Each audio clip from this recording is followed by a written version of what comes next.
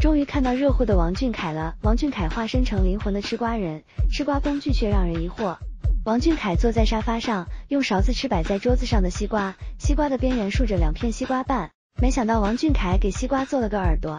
粉丝们发现王俊凯吃西瓜的勺子居然是一个漏勺，本以为是王俊凯自己选择的漏勺，没想到是工作人员为王俊凯准备的。看来坑老板还得是工作人员啊！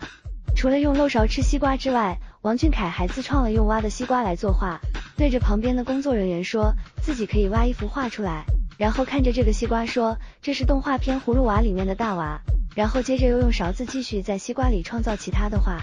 工作人员无意间提到了王俊凯的外婆家，虽然有说有笑的，但后面那句太久没回去了，太令人感触，言语间满满思念。有不少心细的粉丝从王俊凯的穿着打扮中猜测到了这个视频应该是在拍摄电视剧《重生之门》时所录制的，而粉丝的猜想也确实没有错。看来在工作之余吃西瓜可以说是王俊凯放松和治愈的时刻了，让我们好好期待一下王俊凯的妆文节吧。